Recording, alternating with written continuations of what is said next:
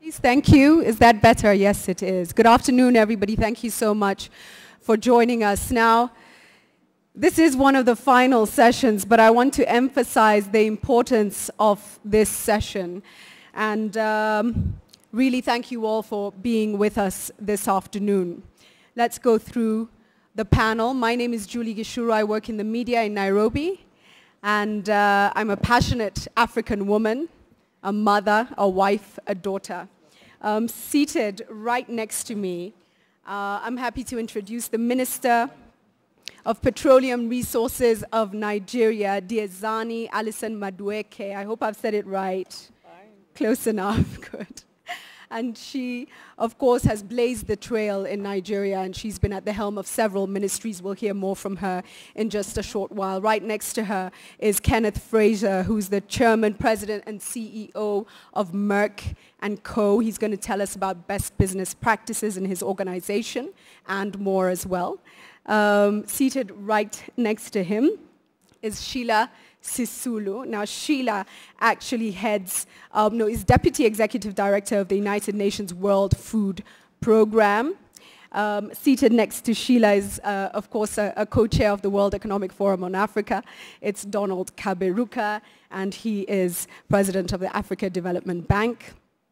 Next to him, we have uh, Mon Monhla Hlahla and uh, Monhla is the chairperson of Industrial Development Corporation of South Africa, also a co-chair of the World Economic uh, Forum. And next to her is Charlotte Osei, who chairs the National Commission for Civic Education, and that's in Ghana. So let's give them all a big hand for being with us this afternoon. Thank you.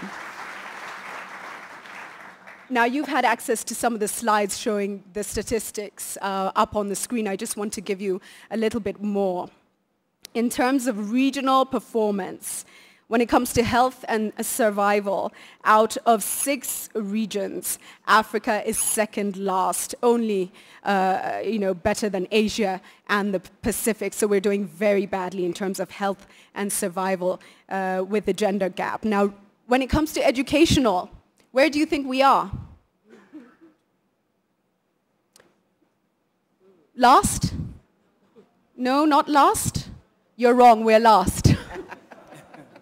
I'm so sorry to be the bearer of bad news in terms of uh, education. We're last out of the six regions, which are sub-Saharan Africa, uh, Middle East and North Africa is separate, Asia and the Pacific, Europe and Central Asia, uh, Latin America and the Caribbean, and then North America. Those are the regions. So we are last. In terms of economic participation, someone tell me, what do you think? Out of six, where do we stand? Six? You think maybe six? Three? I hear from someone? Third? Yes, Swati? Number one? Okay, we're not doing too badly. Let me put it that way. We're number three. Who said three? There we go. Uh, we're number three in terms of economic participation and opportunity. Would you have thought that? That is interesting. Yes, you would. Uh, great.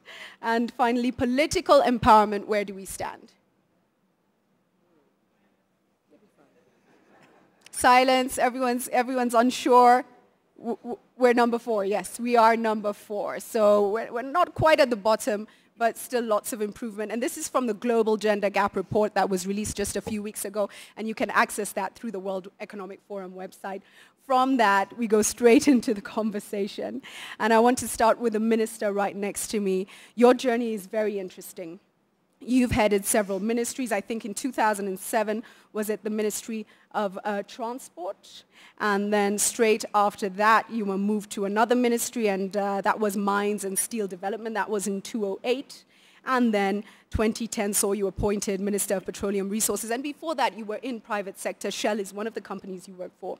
I'd like you to give us your personal journey, but with specific reference to what you feel were the milestones and maybe the best practices that helped propel you forward? Thank you, Julia.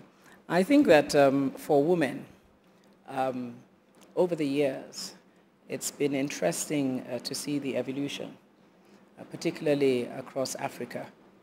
And the fact that um, even though the statistics are dismal, because at this point in time, that same poll shows that the gender gap is actually increasing across Africa.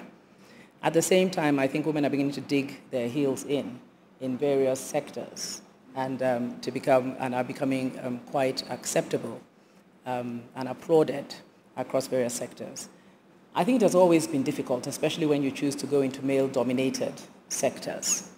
Um, but I have always encouraged more women to go into male-dominated sectors. That's the only way women will ever begin to come near to dominating those sectors.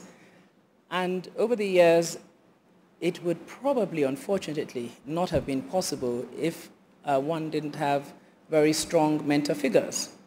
I say uh, unfortunately um, because I would have loved to say that those mentor figures were women, uh, but they were men. And again, I think that's um, um, very educative uh, because I think that along the way in mentoring younger women, uh, we have continued uh, to sing the song that if one woman succeeds, all women succeed, no matter what you feel about that woman. And that it is incredibly important that as you ascend the ladder, you utilize your leadership positions in mentoring other women and pulling them up as you go along. So yes, I think the mentoring was critical, and women have to mentor other women. Men do it all the time. Men have the stronger networks. Women have to form networks. And I think um, just having to be competitive within male-dominated uh, sectors um, has forced uh, uh, me uh, to move along uh, in the manner that I have. I think that also I have found for me, it may not work for everybody else, but that um, without losing your femininity in any form, in terms of gender issues, I mean, in the, in the workplace, uh, one has to sort of pull back a little bit from the natural sentimentality, the emotiveness that women have naturally, because women are the nurturers. And in, in workplace, women tend to be the ones who want to be accepted more than men. Uh, so they deal with issues in a somewhat different way. And we do have to actually stand back without, like I say, becoming men and becoming extremely hard and fashion a different way for ourselves to succeed in, in the workplace. That's very interesting and, uh, and a challenge because you're trying to to be practical, realistic, and mm. remove the motherly instincts and, and the peacemaker instincts sometimes. Mm-hmm. You've, got, you've got to go out there and, and, and be a, a little bit more aggressive. Ken, let me come to you. Um, what are some of the best practices that Merck & Co. have adopted or that you've seen adopted in your environment in the U.S.? Thank you. Let me say at the outset, I'm very pleased to be asked to be on this panel with so many distinguished people. I want to start by saying that uh, while in the U.S. we would claim to value gender diversity, anyone who looks at the number of women running U.S. multinational companies would say that we are, our language is far ahead of our action. So we are not by any means. We talked about women's empowerment in Africa at the beginning, but there's a very, very small number of Fortune 500 companies that have women CEOs, despite the fact that all these companies claim to value diversity. So what I would say about it, Merck is that we recognize we have a gap. That's the first thing I would say. And we're trying to step up to the challenge of that gap. Um, from our perspective, um, we have, uh, at the vice presidential level, 25% of our vice presidents are women, but 50% of our employees are women. So there's still, if you can see, a gap there. I would say from the standpoint of best practices, we've done a lot of things around formal mentorship We've created women's networks so that women can get together to create the kinds of networks that were just referred to. But I do think at the end of the day, the most important thing is whether men in positions of influence and power are willing to sponsor women. When I say sponsor them, I mean two things. I think, first of all, to mentor them personally, to give them informal mentorship, because I think formal mentorship programs are okay up to a point. Uh, but I know, for example, that I have been fortunate to have had very strong relationships with the three prior CEOs at Merck. And I know that those relationships had a lot to do with my being CEO now. Those were informal relationships. They chose to invest in me rather than perhaps other people. So mentorship is the first thing. The second thing around sponsorship is that men have to be aware of the, the way in which men and women interact differentially inside the company. So let me give you an example. I think we've all seen a situation where we have a discussion around the table and a woman has a very important thing to say, but she's unwilling to interrupt. The men are willing to interrupt left and right, and you've often seen the situation where that happens or where a woman makes a point A man comes back a half an hour and makes exactly the same point. And then everybody and applauds everybody, That's him. a great idea, right? So the second form of it is encouraging women to, to move into leadership roles, either formally by moving them up in the, in the corporation or even within informal working groups to ensure that the women's voices are heard.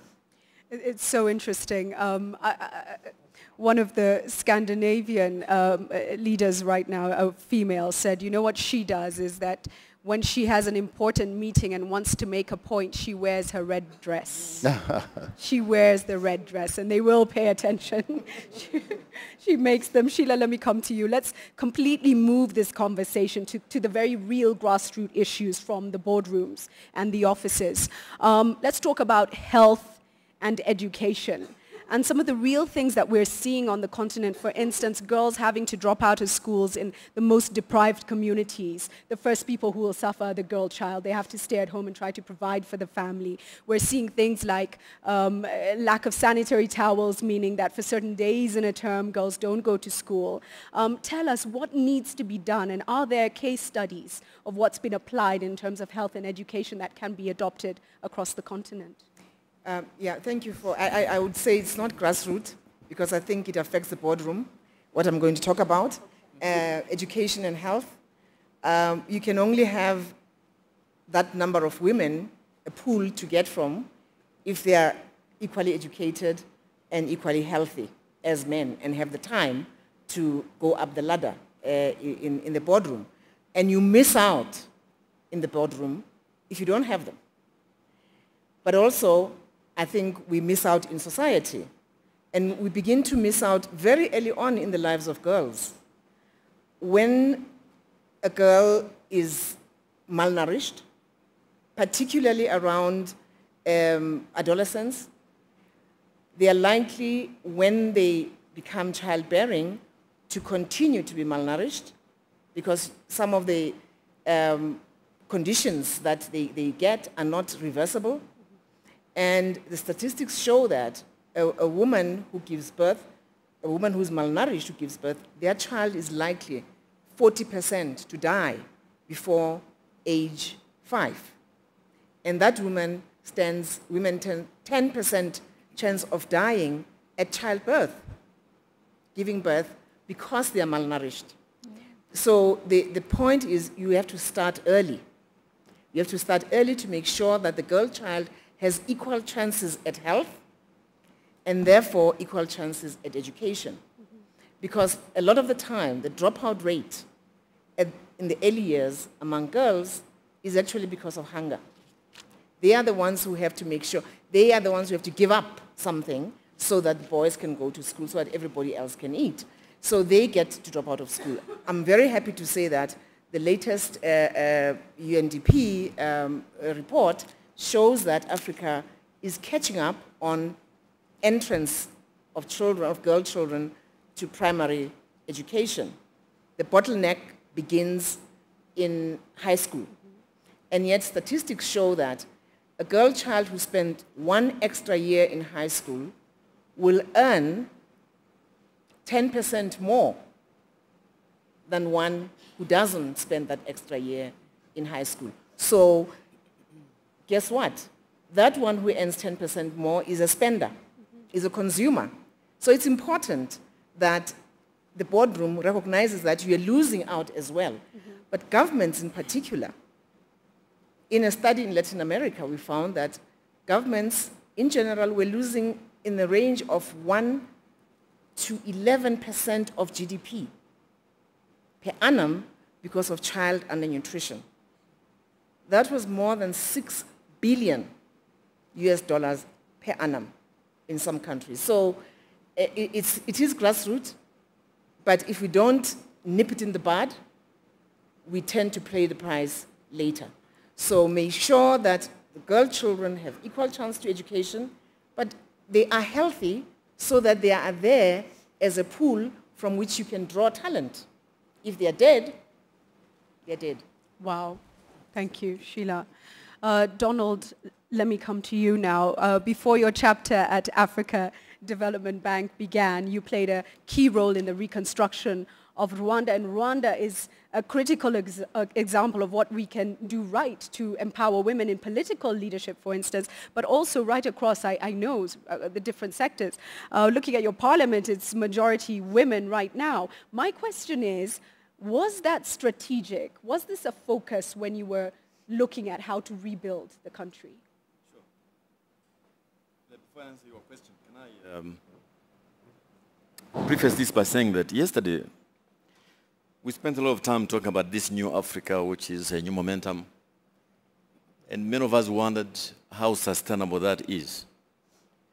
And you recall the answer given was, among other things, the new momentum in Africa is only sustainable if it is inclusive.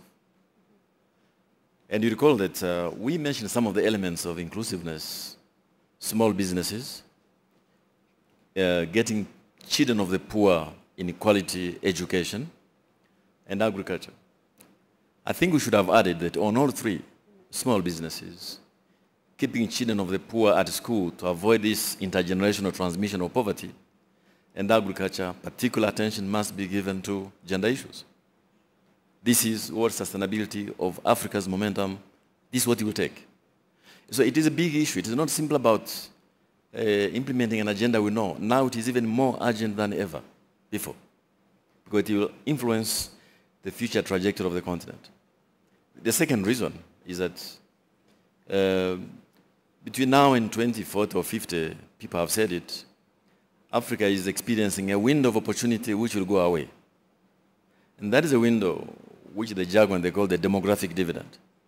We have an opportunity now because of the structure of the labor force, because of the balance between the retirees and the young people, the triangle, the demographic dynamics, a chance for Africa to do what Asia did between 1970 and 2000, which was to take advantage of the young people, women and men, and bolster Asia's growth. So for me, these are two big issues. Now, where I sit as head of the African Development Bank, uh, I'm not certain we do things right. Each time I finance an energy project, I wonder uh, what this means for women, small businesses. Uh, each time we finance an agricultural project, we wonder whether this is taking place. So I'm happy to learn from here of what we can do better. Mm -hmm. And uh, things we are doing wrong, I'm happy to eat humble pie. Right. Yeah, my friend Sheila keeps telling me that there are things we can do better, for sure. Now, vis-a-vis -vis Rwanda, I, I, left Rwanda seven years ago, so I'm no longer a minister. Uh, but I think the finance minister of Rwanda is here, he may be able to help us. My take is the following. This is how we reasoned in government. Uh, the tragedy in my country was a result of two things, uh, bad governance and exclusion. Now, if you're trying to heal a nation which has suffered because of bad governance and exclusion, you must begin by doing the opposite. And so we reason that we cannot reconstruct that country unless we have a fully inclusive agenda.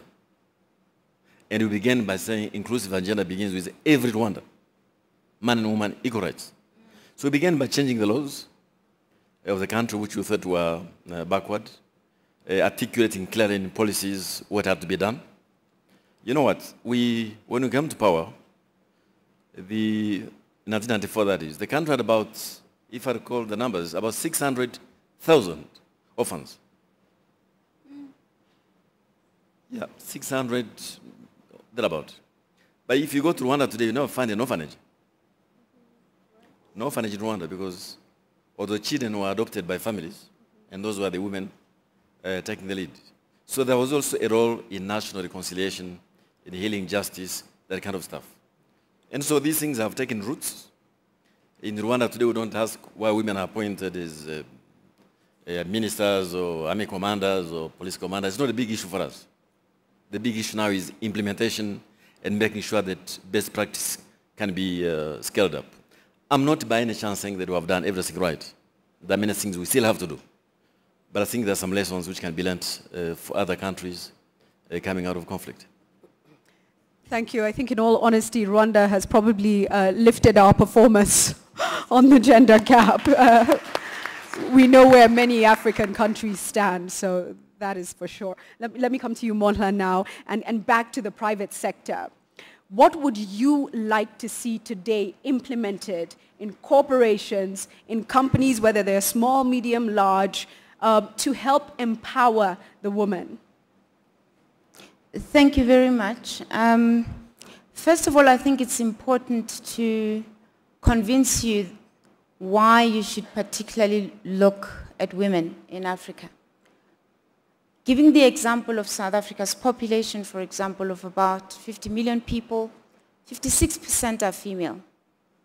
And of the 1 billion population of Africa, I bet my life after war, HIV, our households are largely led by women, which means that when we talk about feminization of poverty, if you look at the statistics of poverty, the chances are therefore higher that the majority of the poor are female.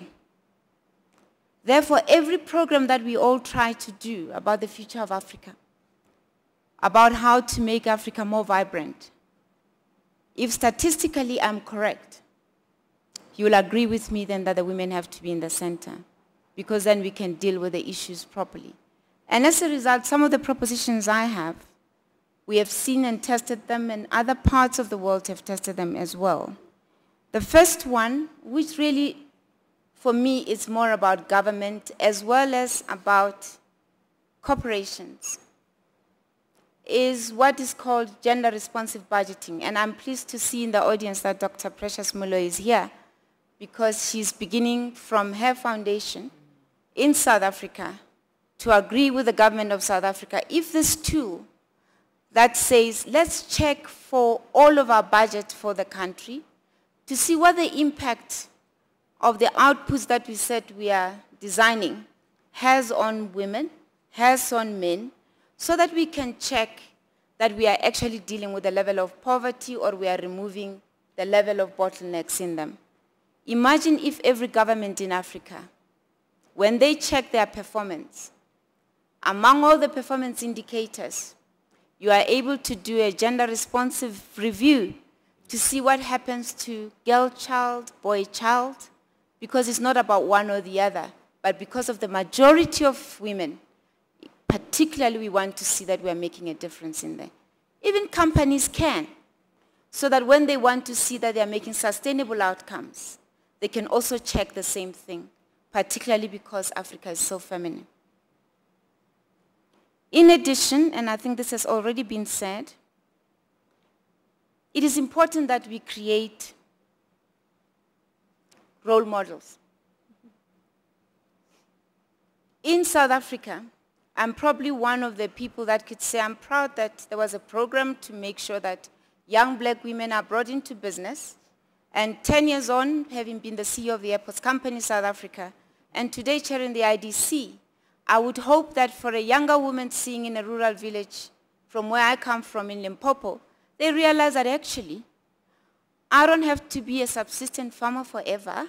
I can go to school, and maybe the opportunities that are available to me are many because I can see a face like me doing something different. We've got to create as many women as possible, both in government, in business, in various layers, and give them the mentorship as it has been mentioned. And importantly, create a network so that the networks gives the women a power base to be engaging in the formal systems that are available today.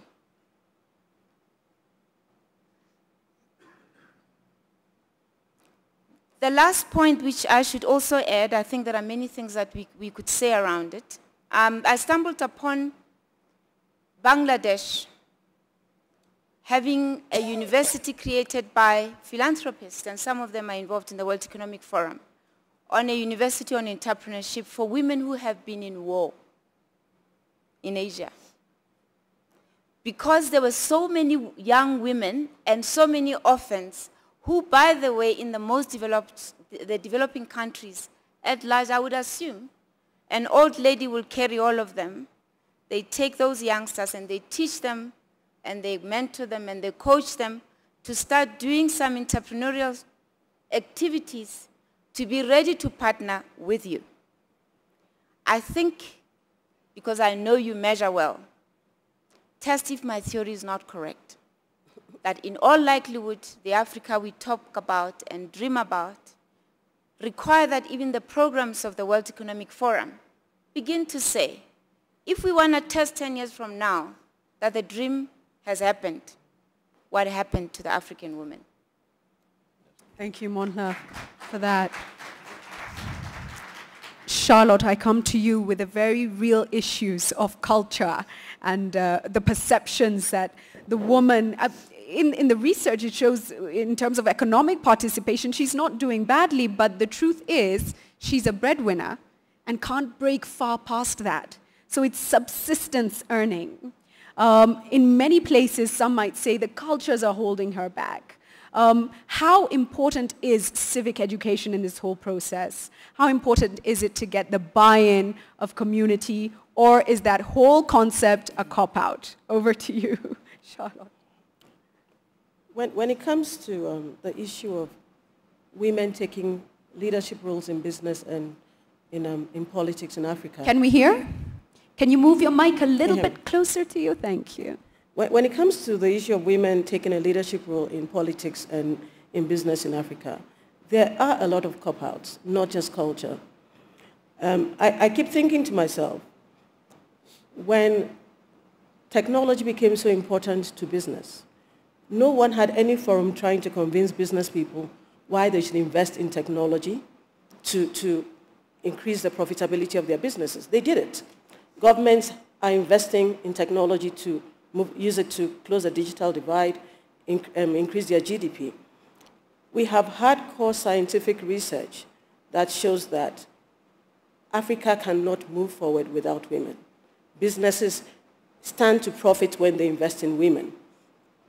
Why do women still have to try to convince um, political leaders and business leaders that they have to invest in women and it's to their own benefit? And it comes to a mindset issue, and it starts with the women.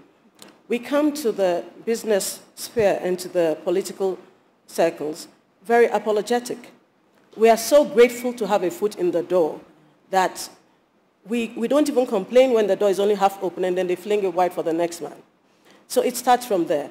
It's also a mindset issue because we've talked about role models.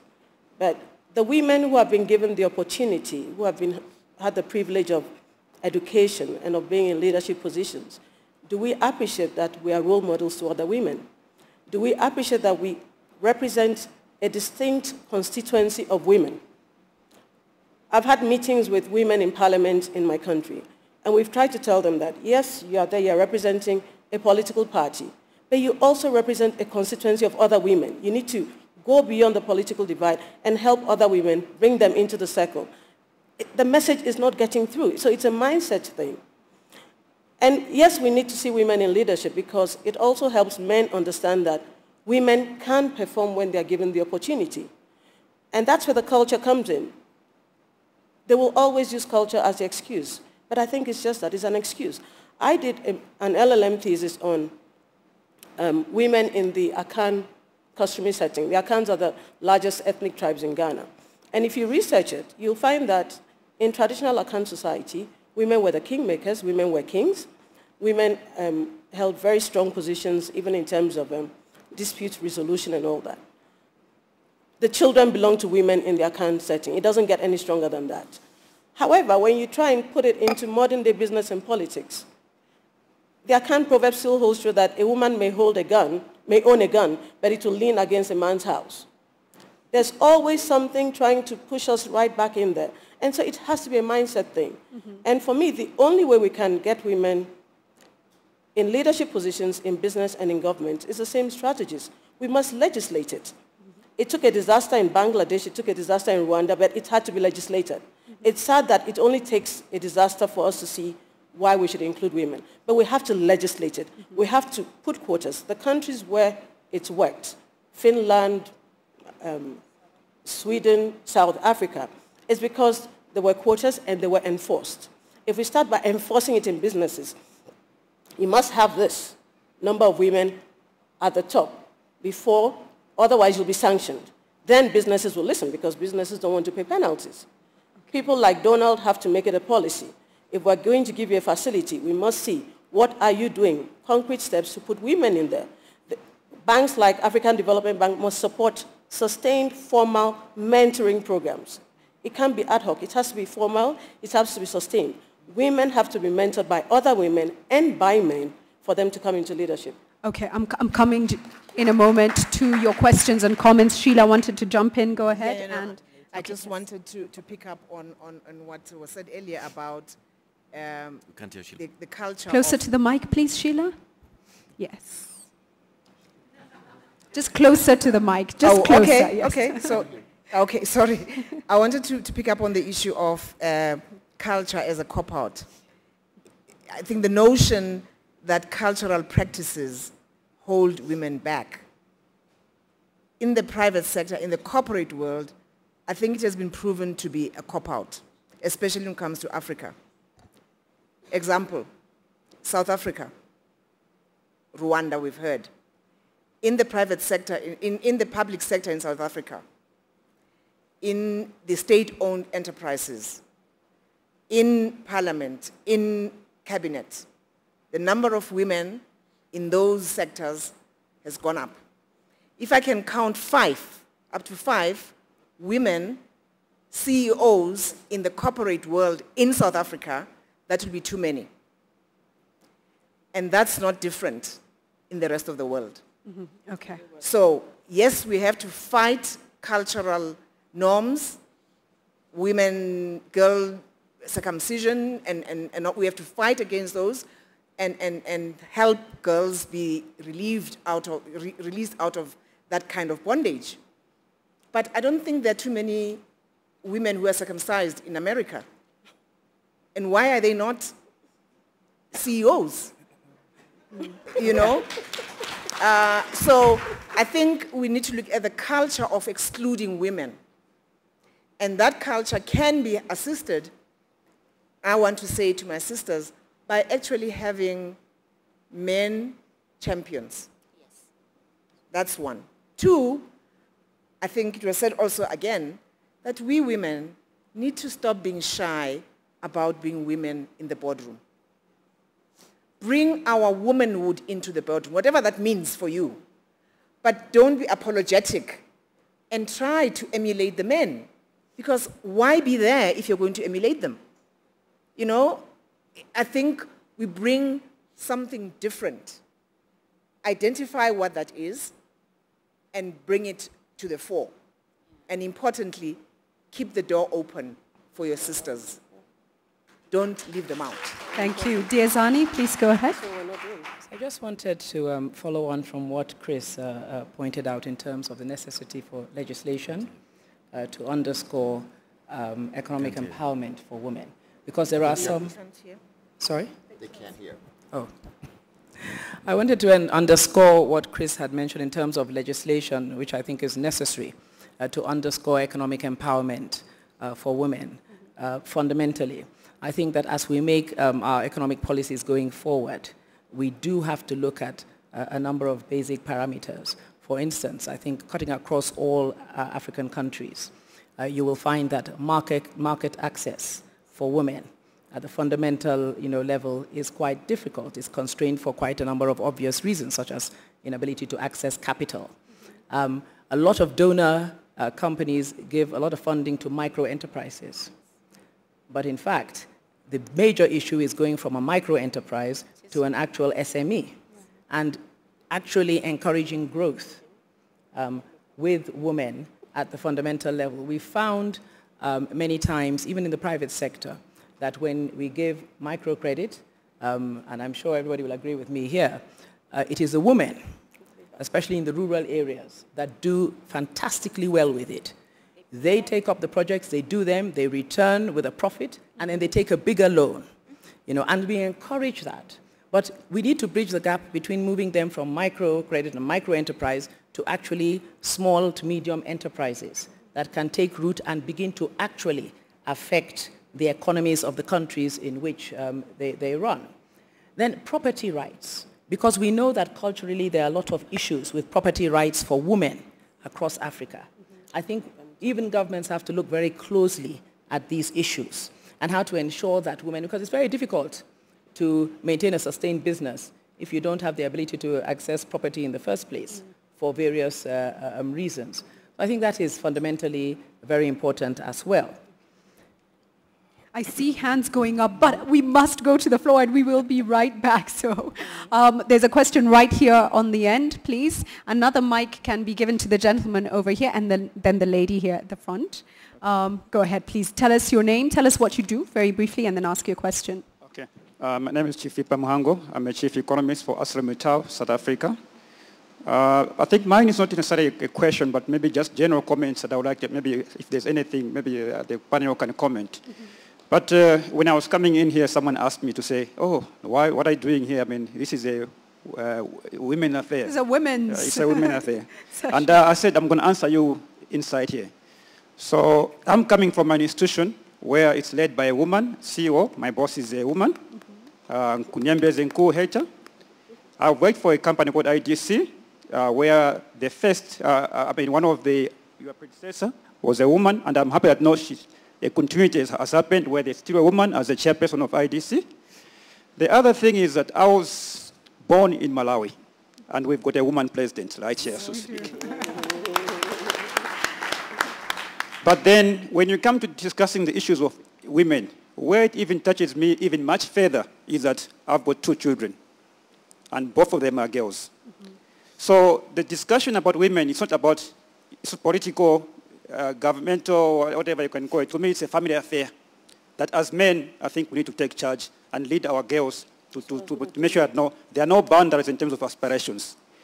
The issues that, if you have been following issues from Malawi, you realize that no, the turbulence are still there on a political side when it comes to women transcending towards not only being ministers, but I think being presidents. Mm -hmm. And my suggestion is very easy. I think we need an intervention on the political side when it comes to the constitution where if we can manipulate a constitution to say, uh, politically, where you say, this person, if you, if you are from this region, therefore the next place, the, the, the vice must be from this other province, or a Christian somewhere, and then the second must be a, a, a, a, whatever, a Muslim. Yes. Why can't we do the same with women? Thank you, thank you. Um, please pass the mic to the lady here in the middle, if, if you would. And I just, I just want to say the, the one who birthed you was also a woman. So thank you for being here. We'll go to the lady next and then the gentleman at the back. Please go uh, ahead. Uh, thank you very much. My name is Patricia Francis. I'm the Executive Director of the International Trade Center, which is a joint agency of the UN and the WTO.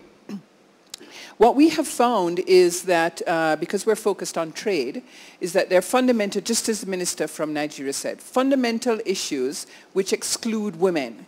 And the first premise is when diagnostic studies are being done. Diagnostic studies are being done, women's issues are not being taken into account in the diagnostic studies, and therefore they're never taken into account in implementation. And this is one of the fundamental things that we have been working with our partners on trade issues to ensure that one, that you diagnose them in the, in the beginning and that they're actually there in the action matrix. The second and important thing is about counting what happens and having the data, this disaggregated data, to ensure that you're actually seeing what has happened from the beginning to the end. And that this is critical and important.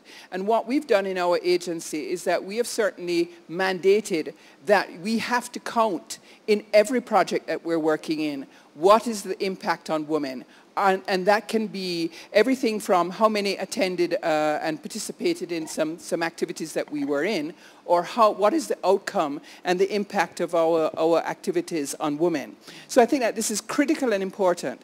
But economic empowerment of women, I think, is the most fundamental from our perspective. And it is correct that 70% of the, of, of the poor are women. And therefore, if you haven't thought about women, you're not going to, to correct poverty. And, and so this is critical. And I think that going forward, if everyone were to, uh, were to actually measure and set targets and report on it, that we would be in a place 10 years from now to come back and actually say what we've accomplished. What the gains are. Thank you so much. Please go ahead. Okay, thank you very much. Uh, my name is Bell Okello, and I'm the regional representative for the International Center for Research on Women based in Nairobi. Uh, I agree with everything that has been said before, and I want to just make one or two observations, if you allow me, Julie. That the first and uh, the, one of the most important things we need to do is not to really go and bombard women with all these issues about women and their rights. In my perspective, and I was told this by a Maasai woman grandmother 20 years ago, that you guys keep here, keep coming, taking us to the workshops, but we are not the problem. The problem are you, the men. So I want to challenge the men who are here and I want to challenge those who have resources that can you try and give a little bit of this civic education to the men to see their wives as partners. Their, I mean, you have to treat your wives as if you're treating your daughter, as if you're treating your sister, not as an enemy in the household. Secondly, uh, a lot has been said about the issue of uh, representation, uh, activ uh, activities, and benefits. I would like to uh, request the two gentlemen seated there, and Madam CEO, that the first thing you need to do when you are going to fund any program is to have what I call uh, a gender-responsive programming. Unfortunately, we must have this coming with some data, as she has said. And lastly, I would like to say that uh, it is important for you to walk the talk we need data to support some of these things, and it's incumbent upon you to support those who want to give the data, who want to show the way, what works and what doesn't work, so that we move ahead. Thank you very much. Thank you. Let, let me take a question on this side. Please, if the mic could come uh, to the gentleman on this side. And I see gentlemen with their hands up. I'll be back to you in a moment. No ladies. There's a lady there. Thank you. Go ahead. Thank you. My name is Zola Tsotsi. I'm the chairman of Eskom, South Africa. I just want to solicit a comment from my brother Donald in relation to the issue of uh, gender-sensitive procurement strategies. Gender-sensitive Gender procurement? sensitive procurement strategies. We at, uh, at, at Eskom have worked very hard in this field, in this area, and we believe that in a transformational approach to procurement that is directed at the upliftment of women and women in business, there is a lot that we have learned. And I think that it would do well for the African Development Bank also to begin to show some interest and some way of differentiating its procurement strategies so that it can attract the potential that exists in the field of women business, women in business. So I would certainly like to get a comment from you in that regard. Okay. And we certainly have done quite a bit of work in that area ourselves. Okay, Donald will, will address that in just a few moments. I want the lady here to ask a question, then we'll take a second round of questions in just a short while, please. Thank you. Uh, sorry, the lady, the lady right here uh, in front, just yes. Thank, Thank you. you. My name is Yvonne Ike, CEO for West Africa Renaissance Capital. Um, I've come here and I'm challenged by us still, as women, looking for men to approve us and give us the empowerment we need to move forward. And I think one important takeaway, there's enough powerful women in the world, there's enough powerful women at this forum, that one important takeaway is for women to get together and start to work on some of these initiatives and just demand what we know works and start to take one, two, three of them, not many, and start, I mean, there's Jennifer here who's ITC. There's $7 billion of trade, seven, $7 billion of dollars of trade that could go to women. Uh, women who are trading. Let's get together with her. Let's start doing things. And let's stop giving men civil education, asking men to legislate information from us, and let's right. get on with it. Right, let's just do it. Thank you. We're going to come back. We're going to come back in just a short while to more questions. Uh, let me start with you, Charlotte, on that end, please. I, I completely agree with what she's saying. The men are not going to do it. In Ghana, well, they might, but why wait? why wait? you see, in Ghana, we, we, we, we, we had a constitution that came into effect in 1993, January. And that constitution contains one provision that is, I've always found very amazing in the way it's played out.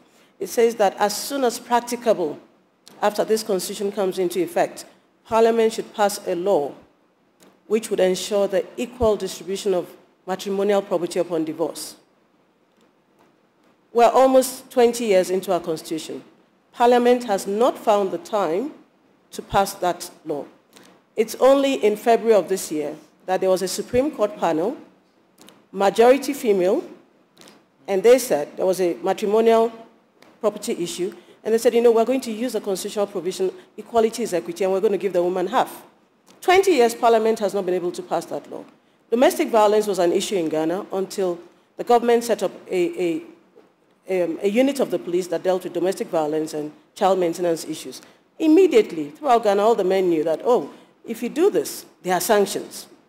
Then the numbers started dropping. We can't keep waiting and begging. We're too apologetic about things that belong to us as of right. Also, the big issue is that when you talk across African governments, when they come to WEF, because gender is on the table, they will speak to it. But it is not actually on the table. And the one thing I know about politicians, if something is not an election issue, it doesn't matter to politicians. We have to put this issue, if it is that important, we have to come together as women, make it an election issue, at least in Africa, and put it on the table because everywhere else, that's what works. Thank you. Monhla, I think you wanted to come in as well, and please, she's addressed it. Donald, you had a question. So procurement. How, how do you think that would work with the Africa Development Bank? Would it be possible to take some lessons from Eskom, I think it is? Julie, this is, uh, is something I would like to, to take forward. Um, not we alone, but other uh, development finance institutions. But I cannot pretend that there are not issues around there which have to be addressed. Legal issues. Uh, because when we do procurement, it is international competitive bidding. And uh, this is also important as a principle in itself. But there are, I think, uh, best practices to learn from. And I would like to report back maybe uh, next time, Julie, if you can hold my feet to the fire and ask okay. me next time. But, okay. but could I say two things, though? Uh, frankly, I think that it would be a pity if uh, this kind of debate ended up as men against women. It would be a shame. Uh, we're in this together. Yeah. Maybe we're not getting it right, but we're in this boat together. Uh, let me give an example. Uh, Sheila mentioned this uh, report by UNDP. One of the successes we must celebrate, all of us, is the fact that the MDG about equity in school enrollment between boys and girls is one where many African countries have scored high. That is a celebration. But now we have the next challenge. It's not simply the numbers. We need those girls to stay at school like the boys, get a quality education, because that is a starting point. Yeah. And this will have, you can have women conferences, of course, but I think it's much better if we're all in the same room and discussing these challenges together. Second point I think I would like to raise is that um, it's a pity the founder of uh, New Faces, New Voices is not here, uh, Graça Machel. Uh, she's not here, but uh, many people in this room and I have been working with her in terms of uh, empowering business women to access finance in a meaningful way. And I think those kind of programs we would like to pursue further okay. to try to bring them up to scale. But Julie, I want to argue that this is not about men against women. Right. It's not against our sons against our daughters. It is all of us in the same boat. That boat has to go to the right place at the right speed. That is all.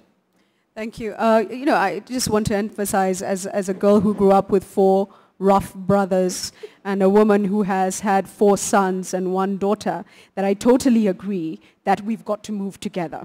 Um, but I need to emphasize, I've had this kind of discussion several times and there's always someone at the back of the room who puts their hand up and stands up and says, women want things without working for them.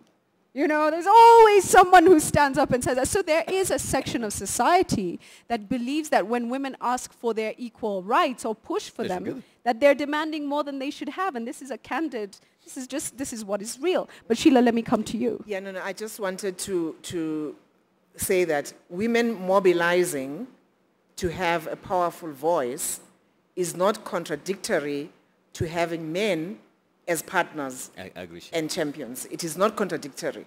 In fact, I think in some instances, it has been counterproductive to approach issues as men and women issues. HIV and AIDS is one such mistake we made. Mm. We took women to workshops, we educated them about negotiating safe sex and all those things, and the men felt that they were made to feel responsible, they were the perpetrators, and the others were the victims. Yet, on this one, men and women are in it together. And yet we separate them and cause them to be, uh, you know, almost uh, locking heads on this one. So I, I think absolutely organize, organize, organize. Women need to organize and have a greater voice. But we have to have men in our corner, not because we're being apologetic, mm -hmm. but because it it's 50-50. We, we need to push, we need to educate them, as somebody said, that they stand to benefit if their daughters become self-sufficient, get the jobs, lead the country, become presidents, and so forth. They are not losing anything. We're not pushing anybody aside. We're making it even better and more whole. Can I just finally say on issue of data? And I want to talk about incentives. Data is all very well. It's after the fact. I think we need to ensure that those that have the money have the incentives. It could be legislation, the necessary incentives to say, yeah, we won't buy from you if your company, and this, this happens in, it's called BEE in South Africa, procurement by government insists that there be not only a gender balance, which they haven't won yet, but at least that those who are privileged before and those who are newly liberated should share in the procurement by government. So it's not only Kaberuka, it's all of, the, of those who are procuring or getting contracts and deals, and the UN is not an exception. We must also insist when you procure, because in WFP, we procure um, almost a billion dollars of food in Africa for Africa per year, almost a billion US dollars. We have started a project where we are purchasing from smallholder farmers because we're told the majority are women. Guess what? When we have to buy from smallholder farmers, it is so hard to find them. Because when it comes to now managing the money, the men jump into the front. and the, but the women do the back-breaking work. So I think in procuring as well, as you said, we need to insist that who we procure from must represent the society as a whole. Thank you, Ken. I want to come to you with the same issue, procurement, and how private sector can play a key role there as well. Well, I think that's a really important issue. I just want to comment very quickly on your, your aside about men thinking that women don't work hard enough and are wanting something easy. And there was a very well-known American former CEO who made a comment to that effect last week, and it made all the newspapers. And yes it's really quite extraordinary. Did, did, you see that? Can I ask? Did anybody see the comment that was yeah, made? A couple of hands. Maybe you can, you can tell us what it so was. So the former CEO of, of General Electric, Jack Welch, who's a, known as a sort of legendary CEO, was speaking at a women's conference and said that he thought that the real key was for women to, in effect, to work harder and perform better, yeah. and that would make them successful. And I just want to say that I think that um, anybody who takes into consideration the fact that most women have disproportionate responsibilities for managing homes and caring for children could never make the argument that women don't work as hard as men because the women that I work with often have those responsibilities which are not evenly distributed at home. On the procurement question, I think I'd like to take a step back from it. I think the question is, are there sufficient economic incentives for private companies to promote women? I would argue that the most enlightened companies say the answer is yes. Um, for example, my company, Merck, which is in the business of translating cutting-edge science into medically important products, there are not that many brilliant scientists and engineers in the world such that we can skip women. There are many important women. In fact, our, our most prominent new product, a diabetes product, was discovered by two women. Without that product, our company, I don't know where it is today. So I think there are real economic incentives, uh, long-term in terms of the war for talent.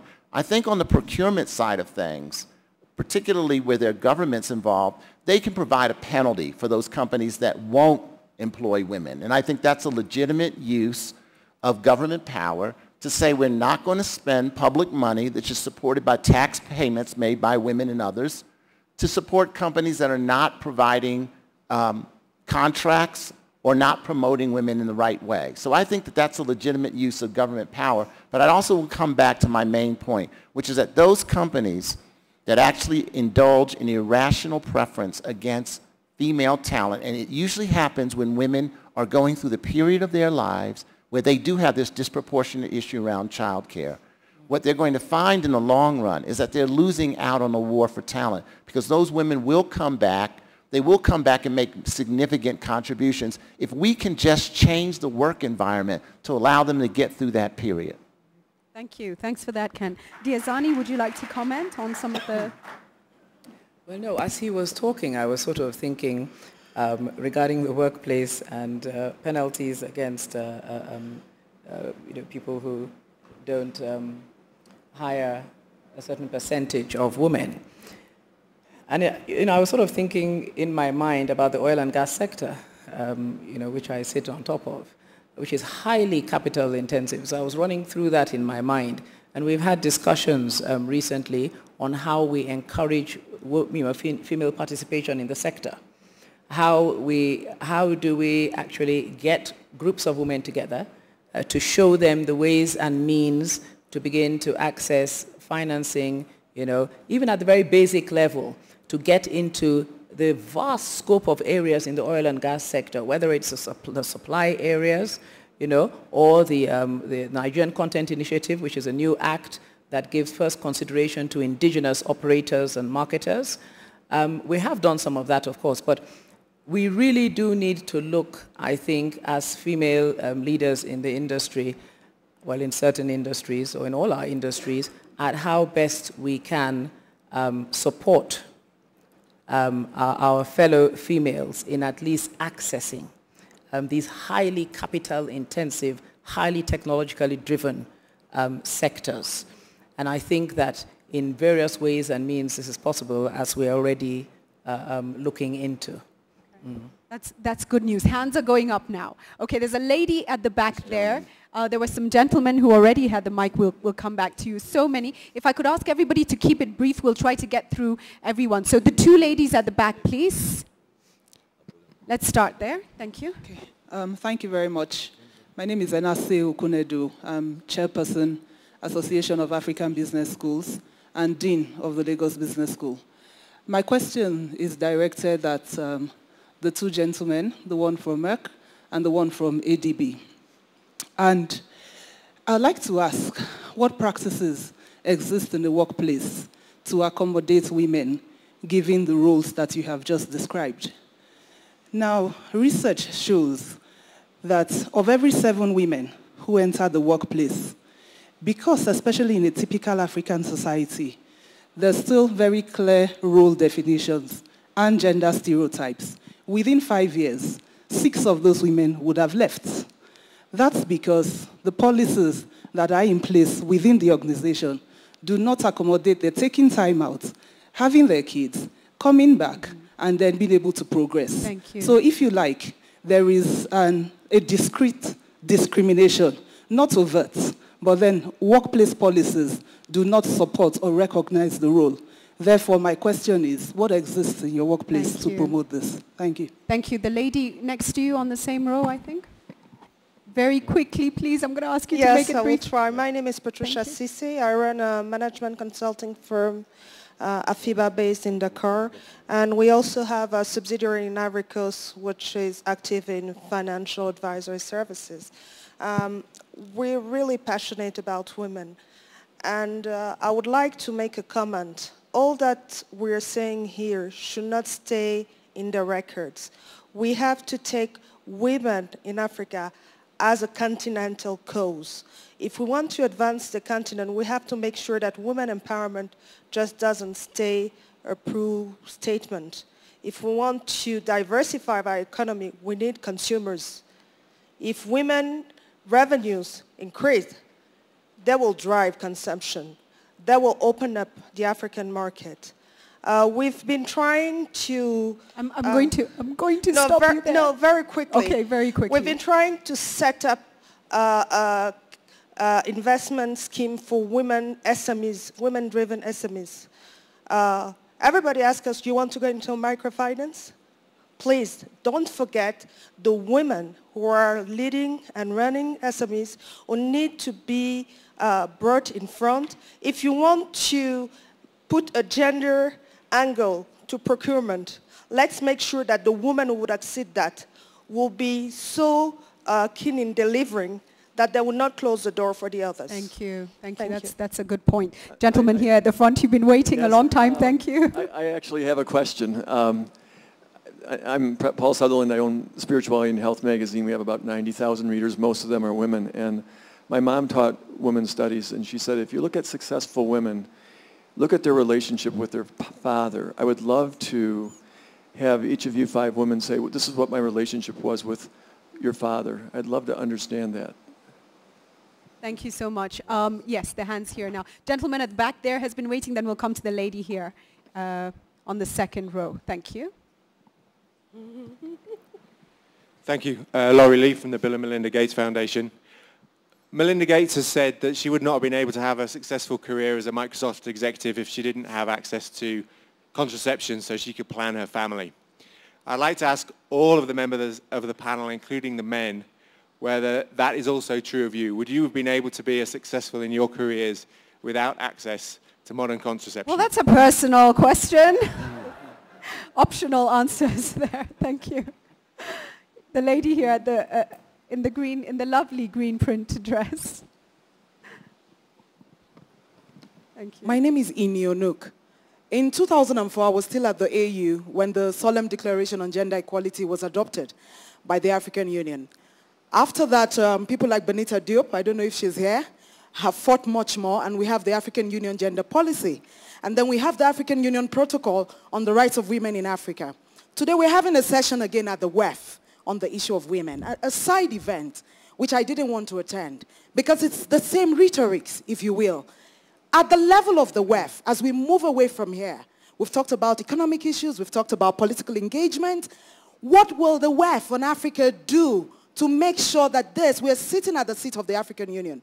I worked at the African Union Gender Directorate for years. It's still the same fora. We come around, we talk about the issues, but the issues of trade, the issue of economic empowerment for women has to go beyond us talking about it. What are the practical steps? The same way we take our practical steps from the forum like this into considerable political will and change. Thank, Thank you. you. Thank you for that. I see two ladies here. Um, if the mic could come this way, then I'll come to Nkosana. Uh, there's a lady, uh, Chinwe, over here on the second row, in the, and the lady behind in, in the white suit as well. Thank, you, Julie. And mine is really quick, and it's building on what um, my colleague said here. I don't know how many of you are familiar with the infamous statement made by Clarence Thomas several years ago. Uh, who's that?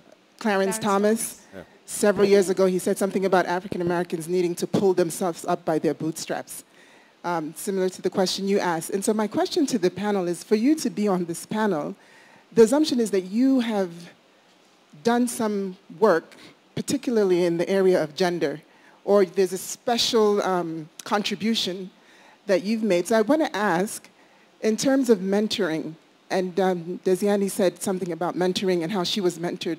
What are you doing? What specific steps have you taken, personally or professionally, to mentor women and Thank bring some women up? Thank you. Lady behind. Yes. Hi. Uh, Is this working? Yes. Hi, I'm Christine Pearson from South Africa. And I'd like to mention three longitudinal studies that were undertaken in the U.S. because I think they may have some relevance to Africa. One is a long-term study of judges. And judges' rulings were significantly different if he had daughters. And the more daughters he had, the more sympathetic his rulings were towards women. Another one was 400 congressmen. The congressman's voting record was much more sympathetic to women's issues if he had, if he had daughters. And thirdly, was a woman's career in, in corporate America was much more successful if she worked for men who had daughters and who had wives who also worked. Thank you. So Thank you. That's very interesting. Come now to Nkosana Moyo, who works with Graça Machel, so Yes, uh, can speak. on Nkosana that. Moyo. I just want to build on a couple of observations. The first one is from uh, President Kaberuka but we're all in this together.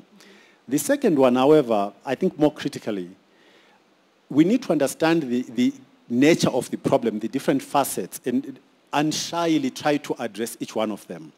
And one of the key elements of this problem is socialization. We call it tradition, we call it socialization, whatever. And I think the mistake we shouldn't make is to think that we're finding a solution for this generation. Because when it comes to socialization, the damage is done already to us. The people sitting in this room are beyond redemption. But I think, I think therein lies a much more fundamental question. If we were taking responsibility for creating a different future, a different future, what are the issues we should be doing differently? And I've got a specific question. And it's not meant to be accusatory to the ladies sitting in this room. I've observed at very close quarters of my relatives their treatment of their daughters and their sons as mothers. And I think there is a big issue that ladies have to face up to. Because all of us have got mothers, as Julie pointed out. In the early stages of our lives, the socialization, rightly or wrongly, primarily depends on what the mother does. So why are you as mothers continuing to contribute to this particular issue? Thank you. I think That's it's a good point, but none of us is not, uh, we are all redeemable. Let me, let me. Yes, please go ahead. The gentleman, the gentleman here, sorry. Thank you. Well, my name is Nduka Obaigbena of This Day newspapers. Very simple question. Should women get appointed because they are women or because they are good? All of you here, I believe, you're in your positions because you are good. Should we be talking about equalization of opportunity or entitlement? Thank you. Thank May you. I address now, that? Yeah. May I um, address that? I okay, think we have in. to address that question. Everybody, no, our time is nearly up, so I will come. I will come. I will definitely come to you. I'm going to give a young lady here the last, the last word from the participants, and then we are coming to the panel. Please go ahead. I apologize, Mr. Frazier. I'm going to jump in. I just had to answer that man really quickly. There are many studies that show that men are promoted on potential and women are promoted on performance. Thank you. Yes. Thank you. Unfortunately. Thank you. So there's a gap in how we judge those things. Okay, Ken, over to you. Well, she actually took the words out of my mouth to some degree. I would just say for myself, and I tried to share this when I spoke, I think that there is the individual's merit, but then there's also the relationships that exist within organizations. I, admit, I was quite frank to say I had very good relationships with the three CEOs before me, and I thought they invested in me. I think the reality of the world is that there are a lot of talented women who get completely stymied by organizations because they don't have the kinds of relationships.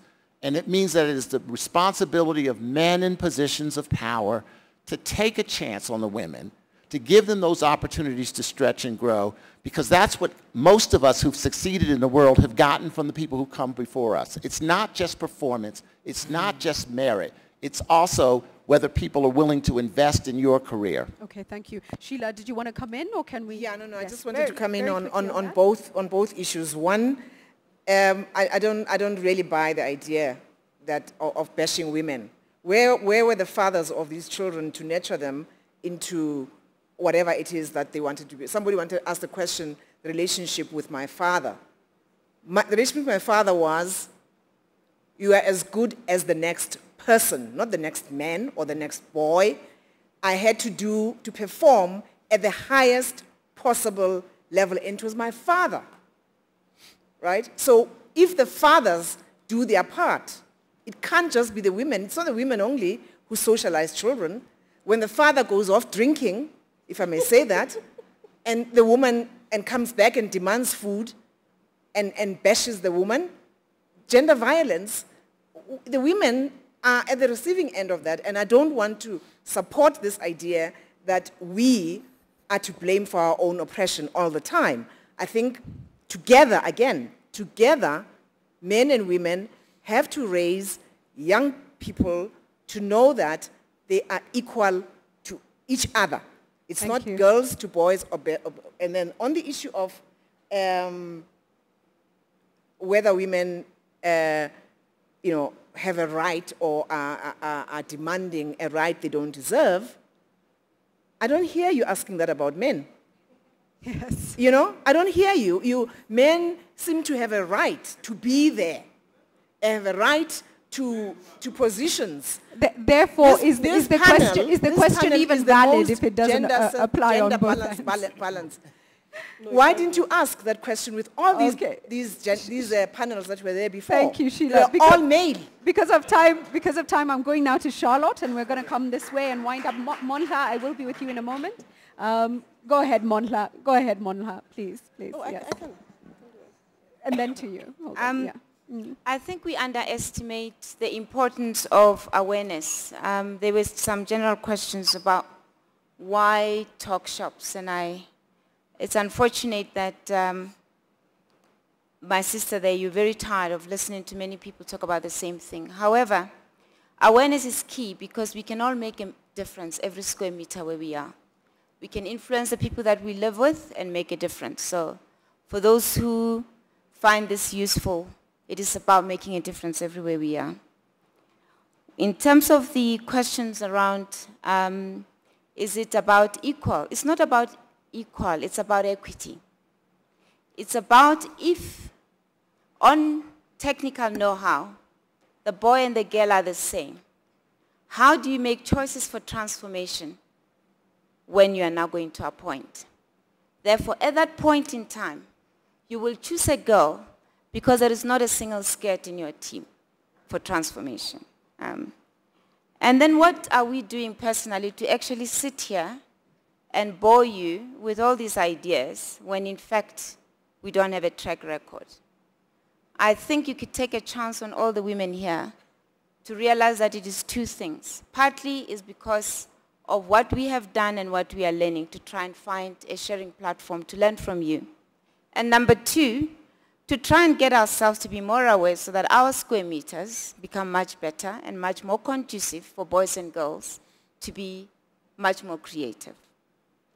And um, on the more personal issues about relationships with fathers, I do realize that it's a very important issue, actually. There's a lot of studies done on it.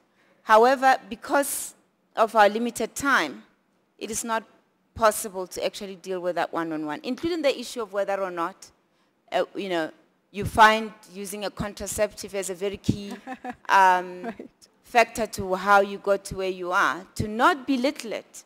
Because I think it's not really about whether you use contraception. It's about whether or not delaying childbirth could actually give an opportunity for a woman at a point in time. It's a valid question. I wish we had more time to look at it. For me personally, it is not about being here at a talk shop on the World Economic Forum and what should be done. It's about actually finding a way for us African women to do something about what we know. The more many of us are in leadership roles, the challenge is what we do with our square meters, including sitting in the World Economic Forum. Let's sometimes realize that it's about finding each other than about expecting someone else to do it.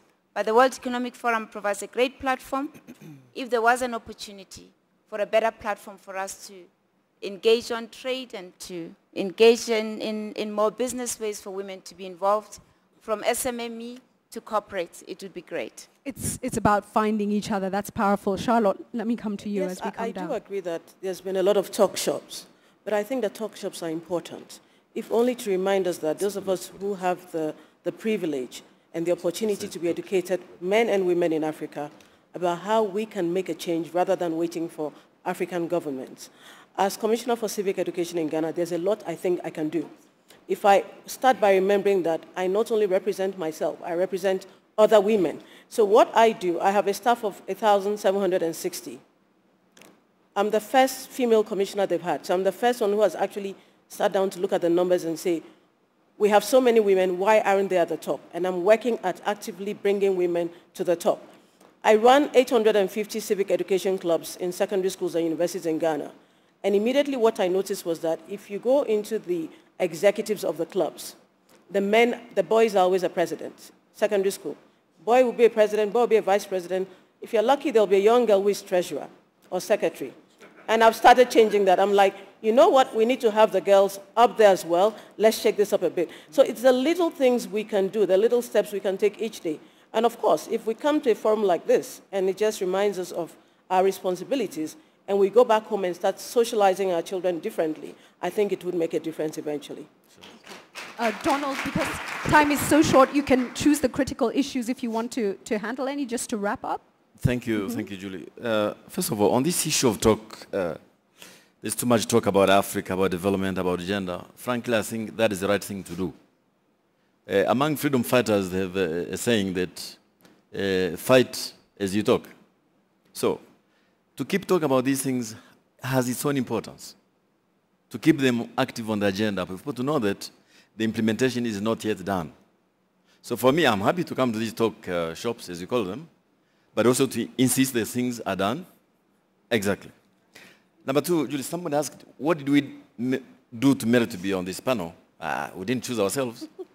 but uh, in my case, look, I have two interests, first of all. I'm a leader. I'm an African leader, and these things are important for us. Number two, I'm a father of two girls. So I'm interested in the future of these girls. And I think each one of us has a right to have a say on these issues. Look back at the pictures of the Arab Spring. Me, I live in Tunisia. Just go back, look at those pictures. Look at the number of boys and girls side by side fighting for freedom. Go back to those pictures. They tell a story. And for me, that's why I stand. Now, on the issue of, uh, Nkosana, the issue raised, um, you know, these discussions should never dilute individual responsibilities before society or before the law. I tell you in my country, there are many women now before justice or in prison or under the auspices of the International Court of Justice because these women participated in genocide in my country. Killing other women, killing girls, killing men. Now, those have to assume individual responsibilities before the law, before society, and before God. And I think we should never mix those two because then we also dilute this other element or that each one of us has his or her individual responsibilities for which they must always answer. Thank you so much. Sheila, did you wind up? Any final, give us a final statement. Uh, no, no, no, no, you know, no. I, I, think, I think we've covered um, most of the things. The, the, point about talk shops, my sister, uh, what I would agree with you about is that this issue should be up and in every panel that the WEF discusses and get special attention. So both things should happen together. That we cannot have, as we've had, all the panels I attended in this hall were only men. And women were an afterthought if somebody raised the question from the floor. Mm -hmm. So I would say to the World Economic Forum, not only to have women for show, but as you conceptualize discussions in the future, you yourself as the World Economic Forum insert in those deliberations engage, engage fully what about women. Right. Thank you so much. Ken, over to so you. So let me close by first of all thanking you all for your very generous listening today. I share the frustration that some people have expressed that we sit here in 2012 having to have these conversations about women and diversity. We never have these conversations. Nobody ever has to justify homogeneity. That's the norm. And I think as long as the norm is that men should be there, we will not even see the pictures. Solipsism, it's, it's the way it's always been. It's the way it's always going to be. I'd like to believe that there are enough people of goodwill and enough corporations who understand how rare it is to find truly great talent that over the next few years we will start to see many more women CEOs. Because if women are 50% of the workforce, there's no excuse for them to be less than 5% of the CEOs. Yeah. Diezani, over to you. Let me run through these very quickly. Relationship with your father, I'm not sure where that's going, but mine was very strong. Access to contraception, no, not at all. It was a very robust support framework that I had, mostly from family. The support you get from mothers, from sisters, from a husband who is confident enough to allow you to go out and do what you have to do, and even from your sons. Treatment of daughters versus their sons, I don't think you need to ask me that question. I think it should be obvious. Should women get appointed because they're a woman or because they're good? We expect that as women work their way up the ladder, their progress is based on their competence. But they must be given the enablement to get their foot in the door in the first place at many levels. And of course, special contributions. Well, I think I discussed that already um, in a number of ways. But let me just turn this on its head uh, a little bit in, in closing and say this, that I think that um, leaving the men aside, as women, particularly as women that are progressing up the ladder and are in major leadership positions, I think the onus is actually on us to look behind us and draw every woman as much as we can up by their bootstraps and to go into policies in our own areas of business, whether it be public or private or private sector, to ensure that we do create those enabling policies and supportive policies that will work for women long, long after we are gone. Thank you so much. Um, we're just wrapping up now, and I just want to give a final word and respond to some of the issues. My relationship with my father, a military man, an Asian, from a community that culturally have pushed women down, was excellent. He empowered me, and it was wonderful. Um, I also feel the issue of mentorship is critical. And I want to encourage every woman who's attended this session and is building her career to almost break through the challenges. In fact, for me, I didn't see gender challenges. I just plowed ahead. And I'm sure a lot of women will, here will say, if they're not listening to you, speak louder speak even louder until they hear you. And that's, that's I think, you know, just get on with it is what uh, the lady said from uh, Nigeria, and I totally agree with that. Ladies, let's start to get on with it and let's start to network and also encourage the male uh, relatives, friends, co-workers, bosses to come along with us for the ride. Thank you so much. It's been an absolute pleasure. Good afternoon.